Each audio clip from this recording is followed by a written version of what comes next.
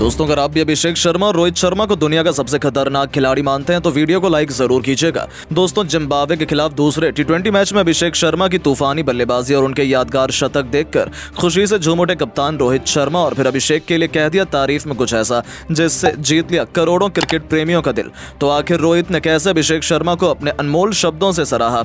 रोहित शर्मा ने क्या कुछ दिया अभिषेक की बल्लेबाजी पर दिल जीत लेने वाला बयान? कैसे अभिषेक ने रच दिया नया कीर्तिमान रोहित का वो बयान? तो हम आपको ज़रूर सुनाएँगे। जानेंगे लेकिन उससे पहले आपको क्या लगता है? अभिषेक शर्मा और रोहित शर्मा में कौन सबसे बेहतरीन खतरनाक छक्के लगाता है? नीचे कमेंट करके ज़रूर बताइएगा। दोस्तों, पहले टी मुकाबले जिम्बावे से गंवाने के बाद भारतीय टीम एक बार फिर हरारे के मैदान पर दूसरा टी मैच खेलने के लिए उतरी। इस मुकाबले में कप्तान शुभमन गिल ने टॉस जीतकर पहले इस मुकाबले में बल्लेबाजी करने का फैसला किया और जिम्बावे को गेंदबाजी करने के लिए आमंत्रित किया। लेकिन यह फैसला पहले मैच की तरह इस मैच में भी बेकार साबित हुआ, क्योंकि अभिषेक शर्मा और शुभमन गिल की ओपनिंग जोड़ी एक बार फिर से फ्लॉप रही। कप्तान शुभमन गिल टीम के लिए केवल दो रनों का योगदान देकर पवेलियन लौट गए। दस रनों के स्कोर पर भारत का पहला झटका लग चुका था, लेकिन अभिषेक मैदान पर टिके हुए थे। ऋतुराज गायकवाड़ के साथ मिलकर मैदान पर खूब संघर्ष किया। स्थिति को देखते हुए उन्होंने बेहतरीन बल्लेबाजी का नज़ारा दिखाया। पहले तो सिंगल डबल लेकर टीम की पारी को संभाला और फिर उसके बाद जिम्बावे के गेंदबाजों की धज्जियाँ उड़ाना शुरू कर दी। अभिषेक का बल्ला रुकने का बिल्कुल भी नाम नहीं ले रहा था। चौक के छक्कों की बौछार लगा रहे थे। बल्ला रुकने का नाम नहीं ले रहा था जिम्बावे के गेंदबाज विकेट की तलाश में जुटे हुए थे। लेकिन अभिषेक प्रचंड रूप में नज़र आ रहे थे। मानो उन्हें देखकर तो यही लग रहा था कि अपने सर पर कफन बांधकर उतरे हुए हैं। पहले गायकवाड़ के साथ मिलकर अर्धशतकीय साझेदारी बनाई और फिर शानदार छक्का जड़कर टी ट्वेंटी इंटरनेशनल का पहला अर्धशतक ठोक दिया। भारत के स्कोर को सौ रनों के पार पहुँचाया। अभिषेक इसके बाद भी नहीं रुके। जिम्बावे के हर गेंदबाजों की जमकर कुटाई की। जिम्बावे की तरफ़ से चौदवा ओवर लेकर आए वेलिंगटन मसाकजा ओवर में अभिषेक शर्मा ने एक नहीं, दो नहीं, बल्कि लगातार तीन छक्के जड़कर अपना तूफानी शतक केवल सैंतालीस तेईस गेंदों में ठोक दिया। खैर, उसके बाद अभिषेक अपना विकेट भी खो, खोकर पवेलियन लौट गए, लेकिन अभिषेक की बल्लेबाजी देखकर भारतीय खेमा खुशी से झूम उठा। हर कोई इस खिलाड़ी के लिए खड़े होकर तालियाँ बजाने लगा। स्टेडियम में बैठे भारतीय दर्शक भी खुशी से झूम रहे थे। वहीं अभिषेक की बल्लेबाजी देखकर रोहित शर्मा भी काफ़ी खुश थे और फिर उन्होंने अभिषेक शर्मा के लिए अनमोल शब्द कहते हुए दिल जीत लेने वाला बयान दिया। तो चलिए, अब हम आपको रोहित शर्मा का वो बयान सुनाते हैं। रोहित शर्मा ने अभिषेक की तारीफ़ में बयान देते हुए कहा कि, वह, अभिषेक, तुमने तो मेरा दिल ही जीत लिया। जिस अंदाज अंदाज में तुमने जिम्बावे के गेंदबाजों को धोया, वो देखकर मैं काफ़ी प्रभावित हुआ। तुम तो धोनी युवराज से भी खतरनाक हो। मैं जितनी भी तारीफ़ करूँ, तुम्हारी कम है। मैं तुम्हारी बल्लेबाजी का मुरीद हो गया, जिस अंदाज में छक्के तुम लगा रहे थे, वो देखकर मेरे होश उड़ गए। हमने आज तक इतने लंबे लंबे छक्के नहीं देखे। तुमने अपनी बल्लेबाजी का पूरा परिचय दे दिया, क्योंकि तुम्हें खतरनाक बल्लेबाज कहा जाता है। आज मैंने भी मान लिया, अभिषेक, तुम इसी तरह बल्लेबाजी करते रहो और किसी भी हाल में इस बार जिम्बावे से सीरीज़ जीत करो। मैं यही कहूँगा बेस्ट ऑफ़ लक अभिषेक। तुमने अपनी बल्लेबाजी से करोड़ों क्रिकेट प्रेमियों को अपना बना लिया। ऑल द बेस्ट तो दोस्तों, देखा आपने किस तरह से रोहित शर्मा ने। अभिषेक शर्मा के लिए तारीफ़ के कसीदे पढ़ हर किसी का दिल जीत लिया, लेकिन दोस्तों, उससे पहले आपको क्या लगता है? अभिषेक शर्मा और रोहित शर्मा में कौन है सबसे खतरनाक बल्लेबाज? नीचे कमेंट करके ज़रूर बताइएगा। दोस्तों जिम्बावे के खिलाफ दूसरे टी मैच में आया भारतीय बल्लेबाजों का ज़बरदस्त तूफ़ान। एक के बाद एक हर गेंदबाजों की धजिया उड़ाकर टीम इंडिया ने रच दिया नया इतिहास। तो आखिर अभिषेक शर्मा के साथ किस खिलाड़ी ने निभाई टीम के लिए अहम भूमिका। भारत ने जिम्बाब्वे के सामने कितने रनों का रखा पहाड़ जैसा लक्ष्य? किस बल्लेबाज ने ठोके सबसे अधिक छक्के? अभिषेक शर्मा ने टीम के लिए कितने रनों का योगदान दिया? कैसे भारतीय बल्लेबाजों ने जिम्बाब्वे के गेंदबाजों को जमकर कूटा? दोनों टीमों के बीच खेले गए रोंगटे खड़े कर देने वाले मुकाबले की पूरी हाईलाइट हम आपको ज़रूर दिखाएँगे। लेकिन उससे पहले आपको क्या लगता है, शुभमन गिल और रोहित शर्मा में कौन बेहतर कप्तान है?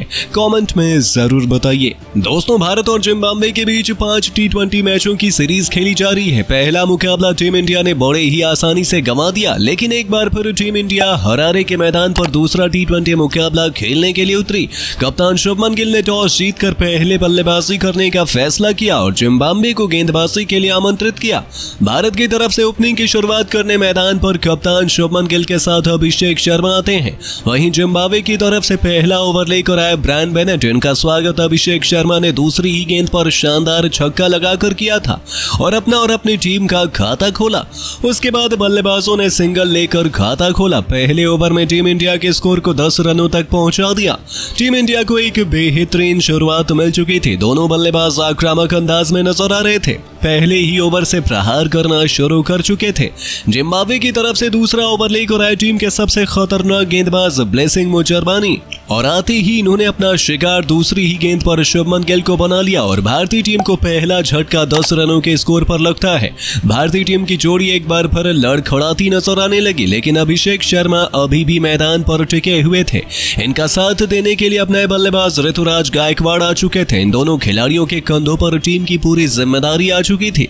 इस ओवर में दोनों बल्लेबाज एक भी रन नहीं बना सके। दो ओवर में टीम इंडिया का स्कोर केवल दस रनों तक पहुँच पाया था। जिम्बाब्वे की तरफ़ से तीसरा ओवर लेकर आए एक बार फिर ब्रायन बेनेट। इनका स्वागत अभिषेक शर्मा ने पहली ही गेंद पर शानदार चौका लगाकर किया।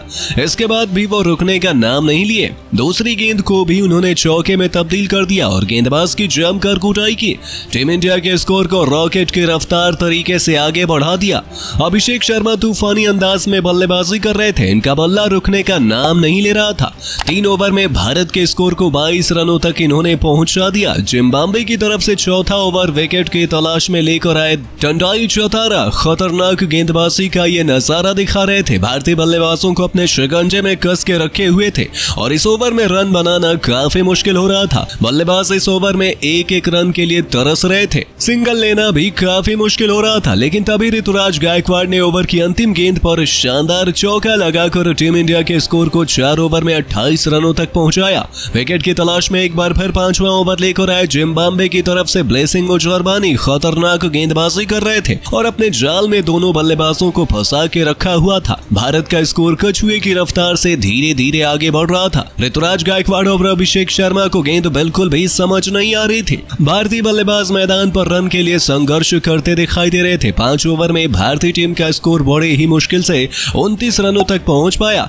जिम्बाब्वे के गेंदबाज खतरनाक गेंदबाजी का नज़ारा दिखा रहे थे। भारतीय बल्लेबाजों को प्रहार करना इतना आसान नहीं हो रहा था। जिम्बाब्वे की तरफ़ से पावर ब्रेक का अंतिम ओवर लेकर आए विकेट की तलाश में एक बार फिर टंडाई चौतारा लंबे समय से बाउंड्री नहीं लग पाई थी। बल्लेबाज सिंगल से ही काम चला रहे थे। गायकवाड़ और अभिषेक संभल संभल के बल्लेबाजी कर रहे थे और ऐसी कोई गलती नहीं कर रहे थे जिससे विकेट गंवाना पड़े।